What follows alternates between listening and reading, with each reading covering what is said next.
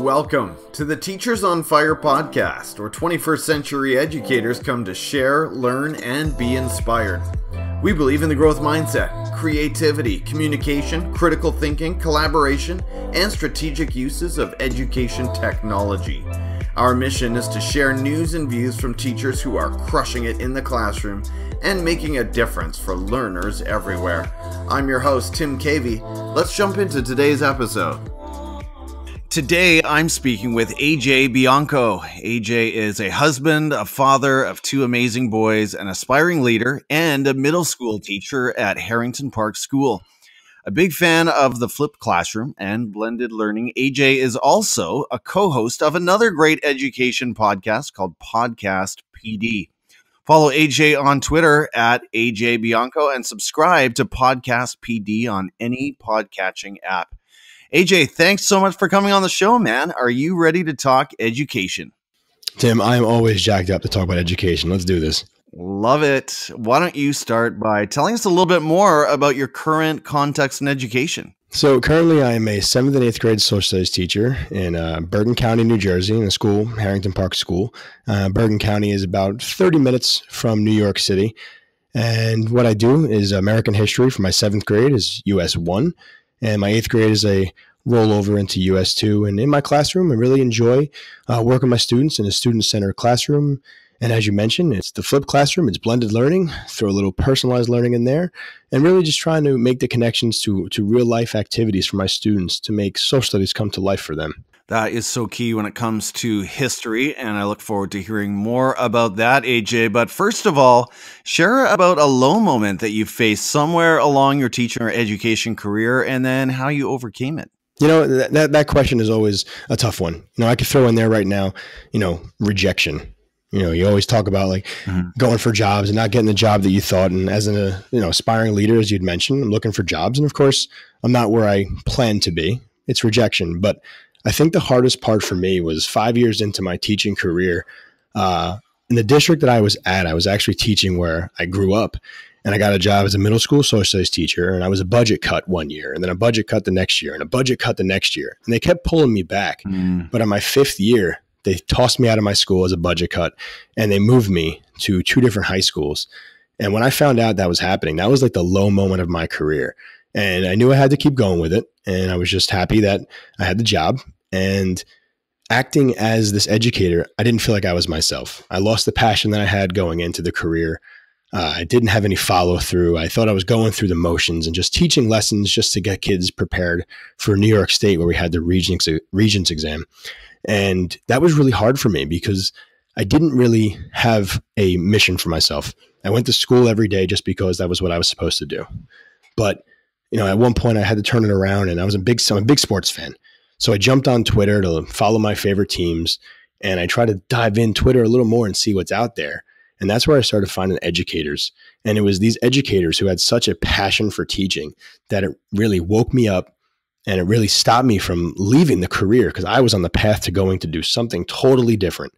And these edu stars and I don't know where exactly but there were many people out there who were pointing me in great directions to bring some new and interesting material to my classroom. They were the ones who really resurrected me and helped me find that that point of i can do this and i'm going to be successful anywhere else AJ, what a story. I can't imagine going through five years, year after year, of being punted onto the next school or the next division. and I, I, think you're right. A lot of people would have walked away from the profession, but I'm so glad to hear that you were able to connect with a PLN on Twitter and if you're out there and you're not following AJ, you need to get on that because the guy is putting out so much inspiring stuff. has a ton of followers. So he has become a star himself. But AJ, another testimony for Twitter, and I love it. Let's talk about the podcast you host with Stacey Lindes and Chris Nesi. And I love Chris. Chris helped me out early on this passion project, Teachers on Fire. So Tell us about what you love most about producing the podcast PD show and what can educators expect to hear when they tune in? Yeah. So first of all, Chris is an amazing guy, and he, we call him Mr. Podcast. You know, the guy's all everything podcast. You, you go you go to Chris Nesi because he's the guy. Uh, podcast PD actually is something that Stacey had uh, blogged about uh, a couple years ago, and she started a hashtag podcast PD, and you know we just jumped in there and started talking about it. And as we started talking more about podcasts, you know, it started to become more clear that Stacey, Chris, and I really had something that we were passionate about. And as we started doing some Twitter chats with the hashtag, uh, Chris was like, "Look, we should really make this an actual podcast." And we started out slow, and I think we kind of got our confidence after a while. And if you're listening to Podcast PD, you know our motto is anytime, anywhere, professional development. And when when we use that motto, we say professional. You know, it's also personal. I think the great thing about Podcast PD is if you're a listener, you're going to get uh, the true selves of who Chris, Stacey, and I are. You're going to understand like what we stand for, what we are passionate about with education, what we want to see changed, and you're you're going to figure out that we are actually real people on this podcast, and that we're not faking it. You know, there's humor, there's good times. We're we're really positive about things, even if we don't have to be. But you know, the the show really can go any which way. And that's what I love about it. We can talk about technology, we can talk about techniques, or we can talk about methodologies. You know, we're not tied down to one thing. And that's what makes Podcast PD really important for us. That we can go any which way and have a really good time talking about the things that that have been our experiences and the things that we love. AJ, what else besides podcasting and, and maybe besides teaching history at the middle school level, what else excites you about education today? Well, at the middle school level, I mean, everything excites me. I mean, our kids are always wide eyed and bushy tailed, and they always want to get, get involved, right? Isn't that what middle school is? No, it's always, it's always a completely different journey. Who knows what's going on in middle school? but in education today, I, I got to be honest. I love, first of all, with Twitter, PLN that we have that we've all kind of jumped on. Um, we have so many people out there who are willing to share a voice. And the idea of podcasting and tim that's why i was gravitating towards your podcast. I love the voice that you have and the other ideas that you're sharing. Thanks matt. And, and podcasts hey, you're doing a great job. And, and, i hope the listeners understand like how tough this is and how how much time you are putting into it for make a great show. I appreciate it. And, and it's people hey you deserve it. And it's people like you who you know are really sharing the voice and are not afraid to be like who's listening you know, who knows who's listening? Who cares who's listening? You're sharing stories, you're sharing your story, you're great, getting some great interviews. And I think education is really improving because we have so many people out there who are taking those chances, taking the chances to share their stories, share their lessons, share their passions. Teachers are starting to do more in their classrooms because there's no fear anymore. And our students are starting to take chances too because they are modeling what their teachers are doing. And I think that's really what makes education today really great. And if we can push that message down to our kids in college, those pre service teachers, I think those are the ones who are really going to start to shine and who are really going to bring education up to where it's starting to go. You know, we have so much technology in our classroom. It's like a technology renaissance. Uh, I love the things that our students can create. They're not just consumers, you know, because you think about it. When we were students, everything that we were doing was lecture, lecture, lecture, notes, notes, notes. You know, our classrooms aren't like that anymore. Our classrooms are hands on our classrooms are engaged students who are really excited about what's next. And I think that is what really excites me about education. You know, AJ, I was just speaking with Dr. Sam Fecich in a previous episode, and she is a professor who works with pre service teachers, and she is huge on Twitter and building that PLN even before these pre service teachers get into their first job.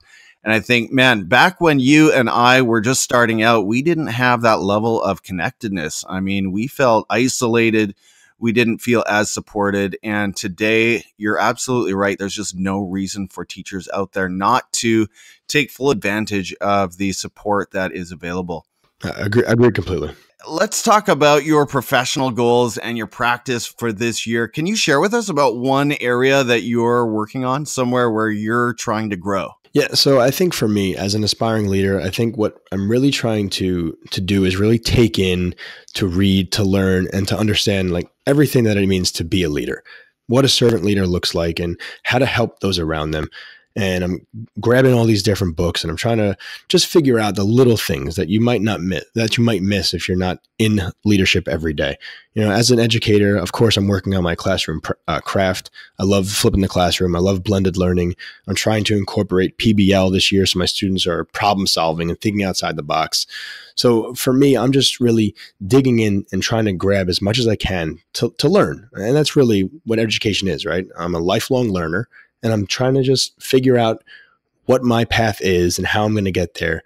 and that's that's really all it is right now. that's awesome. I'm right there with you, man, on the PBL, and it sounds actually like you're further ahead than I am. So I need to be coming to you, AJ, when I get a little stuck for ideas. But I love that. And I, I actually want to dig further into the books, but I know that's coming a little bit later here in the so look forward to hearing about that. I know my wife and I have been both really into Brene Brown lately, and there's so many mm. other good leaders out there. But let's move on and talk about AJ, you as a human being. So, outside of education, if we can go there, some people really have trouble with that question. But, dude, what's another area of learning and passion for you outside of the school? Yeah, so it's really hard to turn off that that education. It is. You know, when when we leave the school, never just leave the school, right? Everything continues on. Uh, but for me, you know, I have two young boys and I have a, a third on the way. So for me, I love watching these two little guys play, learn from each other, uh, really get involved uh, with the Legos and, and drawing and coloring and watching that. You know, that that's that's my life. But when they're not doing what they're doing, for me is sports and of course superheroes.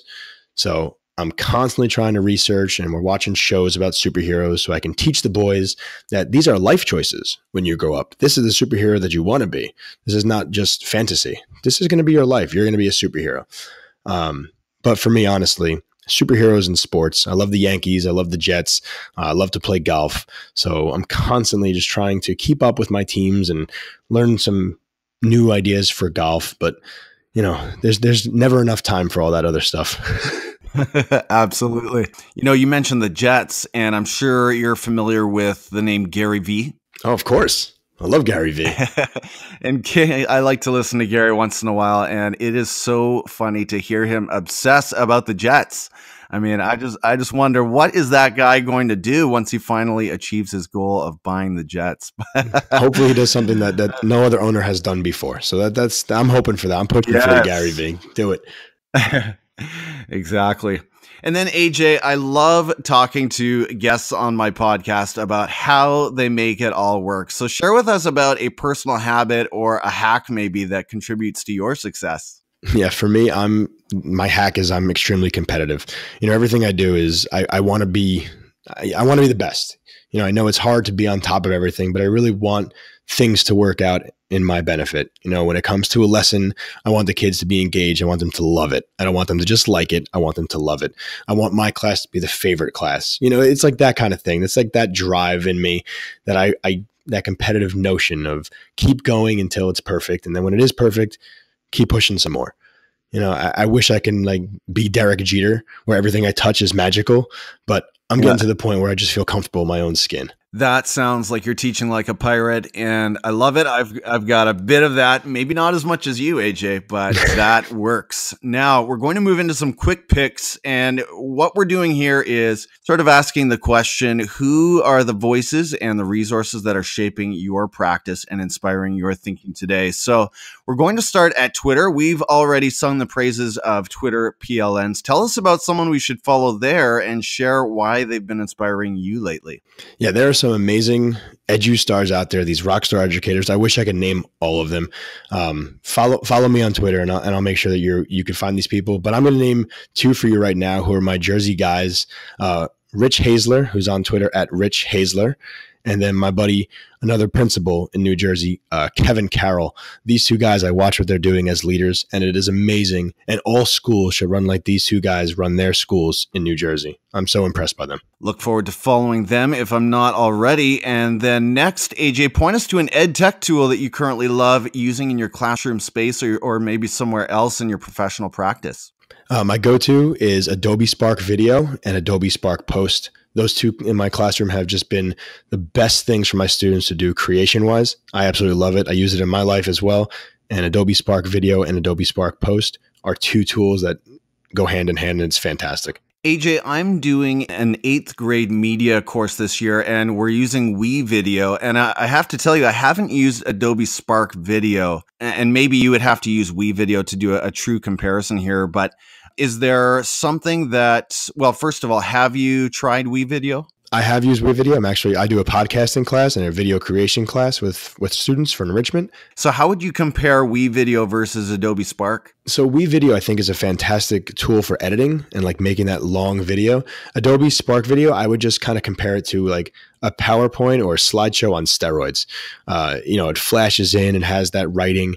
Uh, it's quick notes. It's got voiceovers. So I think if you want that quick little taste, like that teaser, I think that's a great tool for that. That's a great summary. Okay, I'm checking that out as well. No, you got to check it out. AJ, recommend a book, one that you've been reading lately, or maybe one of your all-time faves, and tell us why you recommend it. So this summer, I sat down and, and my favorite book uh, is an author by an author, Jon Gordon, and I'm sure everybody's kind of grabbed onto him. Uh, the Energy Bus has been a tremendous bus to really pick you up and get that negativity out of your mind. So I got to recommend the Energy Bus for anybody out there. Okay, heard that one before, and I need to add that to my Kindle. I think that's that's enough votes for that one. Jon Gordon, I do follow on Twitter, and he is a super positive guy. Super. Uh, and then AJ, you are a podcast host, so this will be fun. Suggest another education podcast other than ours, right? That we need to add to our daily commute. Yeah, this is this is a hard one for me. if you listen to podcast PD, I continuously am giving you podcasts to listen to, but I'm going to give you a great podcast right now by a guy named Dan Kreiness, and his podcast is The Leader of Learning. Uh, check him out. I think you'll love what he brings to the table. The last two questions, AJ, are in video. Tell us about a YouTube channel that you enjoy and we should subscribe to, and explain why. So, a YouTube channel I like is it's called How It Should Have Ended and basically it's animation of how some comic book movies and other movies should have ended and it's it's just a joke and i really love it because all these mm-hmm. videos that all these movies you watch like oh i wish you ended differently. Well these guys give you that alternate ending that's a little silly. Okay. Very fun. And last question aj is not education related. I just ask it because i love to hear what other people are tuning into. So on those days when you've got no energy left for anything productive what are you watching on netflix right now? So my wife and i are both comic book fans and we try to watch all these different shows. But because of the time that we have we don't always get that opportunity. So we are binging all these different CW shows for Arrow, Flash, uh, Black Lightning. Uh, we actually are about to sit down and watch Daredevil season three. Even though it's been canceled going forward, we have to catch up on our Daredevil. So it's comic books for us. All right. Well, my boys would be right there with you. Love the Daredevil. AJ, this has been a blast, man. And every time I hear about the Jets going forward, I'll be thinking of you rooting them on. What are the best ways for the listeners to follow you and get more of that great content? So, you want to follow me, just type in AJ Bianco. You'll find me on Twitter. I'm at AJ Bianco. Uh, my blog or my website, whatever you want to call it, is ajbianco.me. Instagram is AJ Bianco, Voxer, AJ Bianco, uh, inst- uh, what is it? LinkedIn, AJ Bianco. I'm all over the place. So type my name in, you'll check me out. Well, that sounds like some solid branding that Gary Vee would approve of. Sounds good, AJ. Thanks so much for sharing your time with the podcast today. This has been fun and I've got some things to go check out thanks to you. So take care and dude, let's talk again soon. Tim, this is great. Appreciate it. All right, man. Later. Later. Thanks for listening to this episode of Teachers on Fire, where teachers come to share, learn, and be inspired. Please subscribe to the podcast, leave us a review on iTunes, and follow us on Twitter at Teachers on Fire. I'm your host, Tim Cavey, saying goodbye for now, and we'll catch you next time, right here on the Teachers on Fire podcast.